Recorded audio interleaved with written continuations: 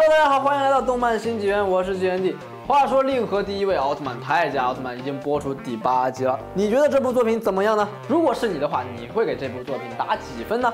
从评分来说，这部作品播出至今还是非常成功的，豆瓣八点二分的高分。虽然跟昭和前辈们比起来，或许不算出挑，但是让我们看看上一部罗布奥特曼剧场版和罗布 TV 的评分，你会觉得这还是挺有面子的。作为令和第一奥这个成绩，也算是没给自己丢脸。青年号对于岩谷来说还是意义重大的，比如平成第一作迪迦奥特曼的水准就是超高级别，所以对待泰迦奥特曼可以明显看出远古比罗布上心多了。而将主角泰迦设定为昭和皇子泰罗的儿子，足以见得远古想要在令和奥中表达的观念，那就是传承。而且三位奥特曼同一个人间体的设定，对于奥特曼也是很新奇的。更让人惊喜的是，哲学肌肉男泰塔斯。开播之前，我以为这家伙是三兄弟里面最无聊的，而现在没有他出场，我完全不想看了，这是怎么回事？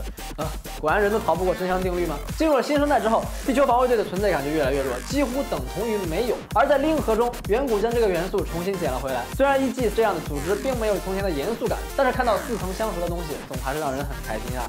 不得不说，远古有心了。而且比起前面几部新生代奥特曼，远古终于重视了最大的问题，那就是变身时长。泰迦奥特曼的变身动作变得简洁高效，跟泰罗一模一样的登场和特效，也让人感觉到梦回昭和的感觉。而且这部剧对于大龄奥迷来说，还是一场吐槽盛宴，就连官方都会时不时的吐槽啊。比如奥特曼在战斗时，外星人和美女社长看泰塔斯打怪兽的时候，说了一句建筑物都要被破坏掉了。呃，这样的话语对于熟悉奥特曼的人来说，这样的场面真的是挺暖心的。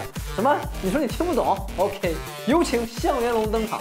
バカ野郎なんて下手くそな戦い方だ。周りを見てみやがれ。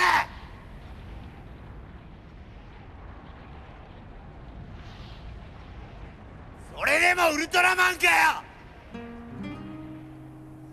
何も守れてねえじゃねえか。除此之外，远古还有一个传统也在这部剧被打破了，那就是女性角色都会被化妆师毁灭式整容。其实回顾昭和以及平成时代，奥特曼系列的女性角色几乎每一部都是一水的美女啊。这个毁灭整容的化妆技术似乎也是从新生代过来的。好在令和第一作没有让大家失望，不管是女主还是社长都是颜值在线啊。对于这部令和第一位奥特曼来说，你的评分是多少呢？欢迎在评论区留言，我们下期节目再见吧。